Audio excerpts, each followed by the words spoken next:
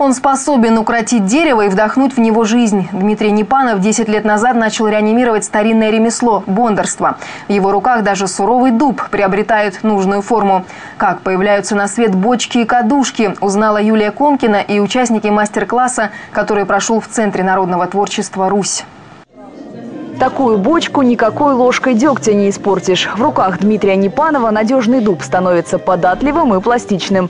Дерево мастер сушит три года и только тогда берется за дело. Дерево – живой материал. Его невозможно просто взять и как из металла вырезать одинаковые заготовки. Его ведет, надо подтачивать, надо там делать. Ну, в общем, это все равно это искусство. Дуб есть дуб. Очень благодарный материал. Ну, с ним приятно работать. И бочки получаются, ну, они выхаживают до 40 лет при правильном уходе.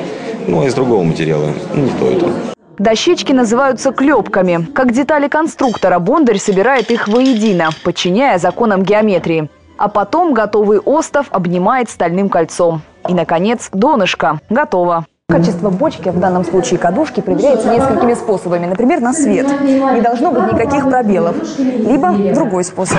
На звук постучать по донышку. Звонко. Значит, работа выполнена хорошо.